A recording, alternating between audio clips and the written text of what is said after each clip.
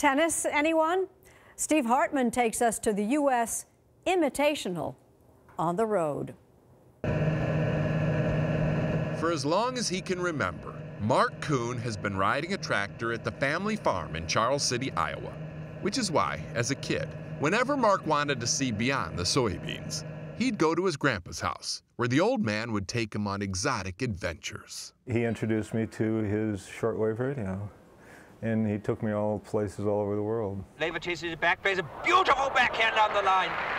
Including England, where one day they stumbled on a BBC broadcast of the championships Wimbledon. Fraser has won his title at last. For Mark, it was instantly game, set, match. What did you like about it? Well, the accent was neat. the accent? Yes, and, and we quickly got into the way the score. We didn't understand it. Why did it go to 15 and then 30 and then 40? You know, and love. It was the beginning of what became a lifelong obsession with Wimbledon. Of course, a lot of people like Wimbledon and grass court tennis. But what makes Mark outstanding in this field is what is now outstanding in his field. What was formerly a cattle feedlot is now the All Iowa Lawn Tennis Club, a replica of Wimbledon's center court. It took Mark a year and a half to build it. Then he learned to maintain it during an internship with the Wimbledon ground staff. And that's all he wanted, just to grow and groom the grass. Which is why Mark was as surprised as anyone when after he built it, they came. From around the world, they came to play on his court of dreams.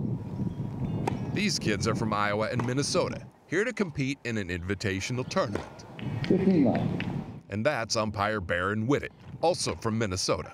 And when I found that there's a place in the middle of Iowa in a cornfield, it's like get in the car, you know. So I came down as fast as I could. What happens when you build it and they do come?